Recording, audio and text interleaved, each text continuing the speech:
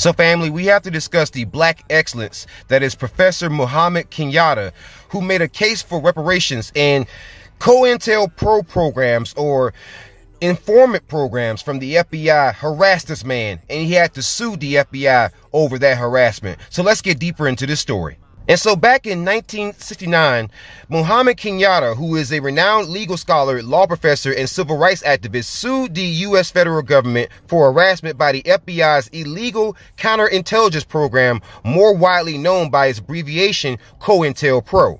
And since the US government didn't want empowered black men, especially black men, speaking up about black empowerment during the 60s and 70s and even now, they sent federal agents and also informants to try to compromise this man, follow him around, and also harass him.